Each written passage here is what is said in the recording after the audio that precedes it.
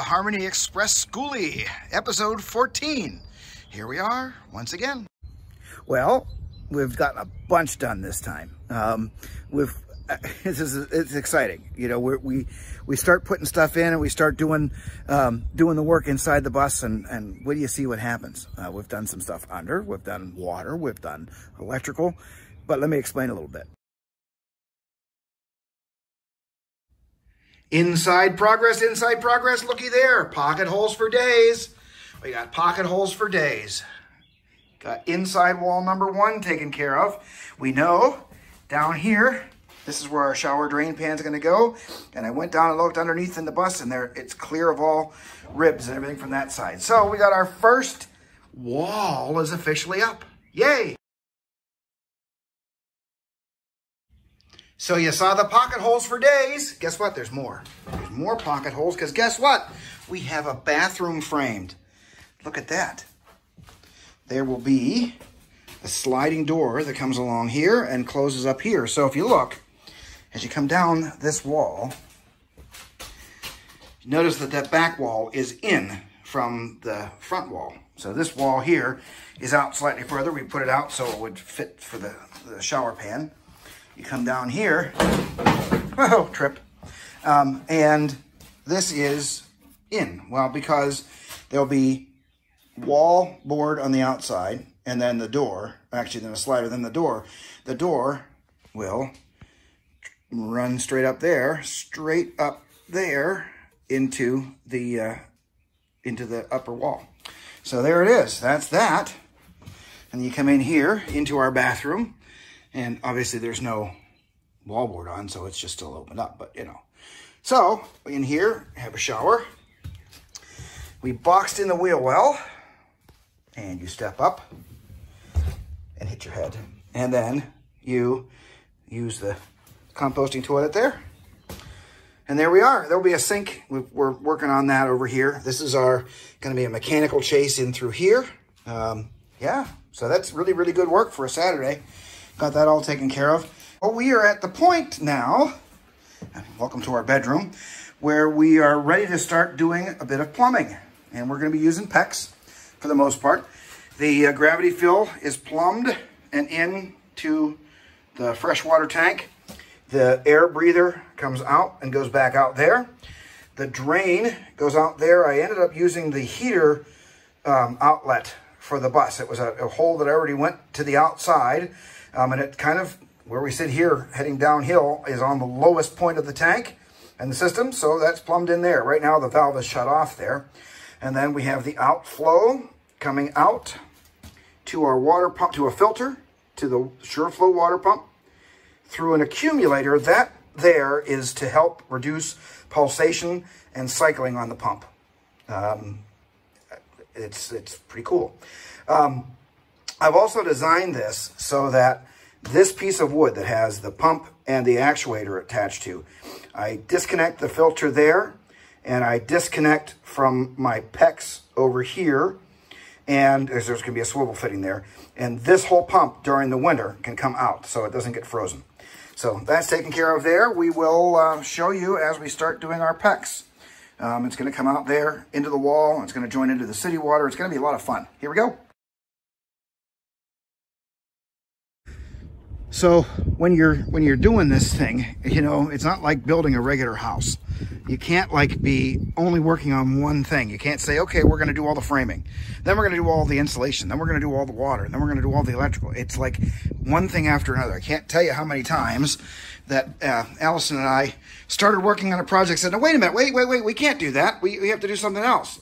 But we kind of dug our, our feet in and you saw um, we dug our feet in it and, and put the, the shower pan in and said, okay, shower pan's gonna go here. It's gotta go there so that um, we can get down through there with, with the plumbing. So that was there. We said, okay, that was it. So that then got us to be able to frame this wall in.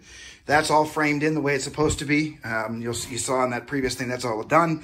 So then it was time for water. Well, we came back here and we started with getting everything plumbed in for our water tank. Now, again, this is a construction zone. I apologize, it's a mess. This is the city water that goes out to the to a hose fitting out there. One-way valve only lets water go in that way. The pump has a one-way valve on it that only lets water go that way. So then it goes in the wall and goes up. Cold water comes through, goes up through here. Sorry, it's a construction zone. It's a mess this time around. Comes up through here. We have two drop ear elbows because we're going to put a sink in here. Two drop ear elbows. Comes up. Cold water goes through. Comes over to the shower. Goes continues on and goes down into our closet here where we're going to put our water heater. It also then continues on under the cabinets up to the sink. So then hot water comes from the hot water tank, comes up through here, actually tees off and goes to the front, but also comes up, comes in here for the hot water for the shower here, comes on through here, comes on through here and goes on down to the drop ear elbow for the sink. Um, you notice that we use white PEX. Well, that's because they didn't have the red and the blue in stock at Home Depot because, you know, COVID-19 and all that crap. Then we decided it was time for electricity. So our electricity in the bus, we're going to have a uh, portable air conditioner that sits up in a cabinet up here at the front. So we have one circuit that's dedicated just for that. Then we have power on the driver's side of the bus going all the way back. And then we have, we've divided our, our passenger side in two because of this big ass monstrosity here. Excuse my French. We're going to have passenger side front and passenger side rear on the 120 volt side, plus a dedicated circuit for the refrigerator. So, as you see, what we ended up doing is we ran back here. This is a utility closet here uh, drilled down through the hole of the, uh, the floor of the bus. Um, it goes down into the, uh, underbelly storage compartments.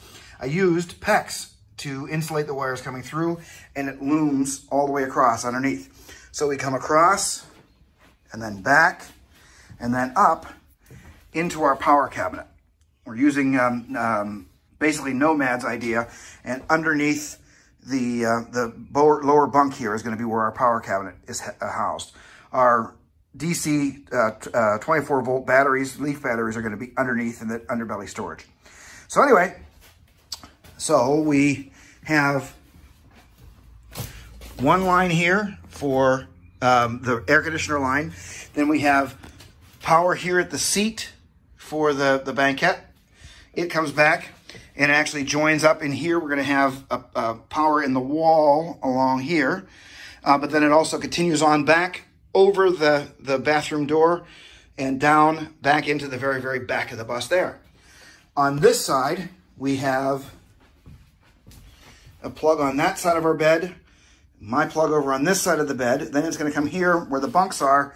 Those are the bunk wires. There's going to be one power for the bottom bunk and one power for the top bunk.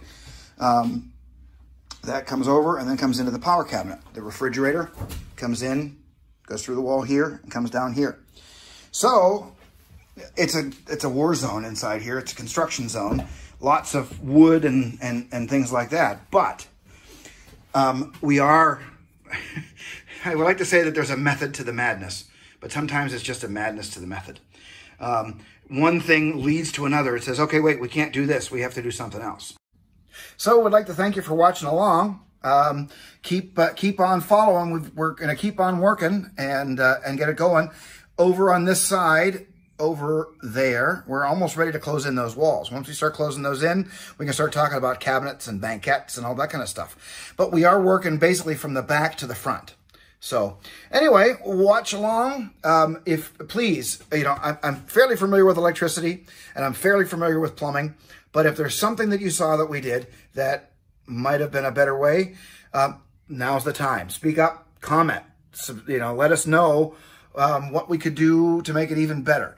Um, as always, like if the video if you like it. If you don't like it, don't hit the dislike and tell us why. Um, but certainly subscribe and share this as we go along. Uh, we just love sharing this journey along with you and uh, can't wait to show you what happens next time. So for now, thanks a lot. We'll talk to you soon.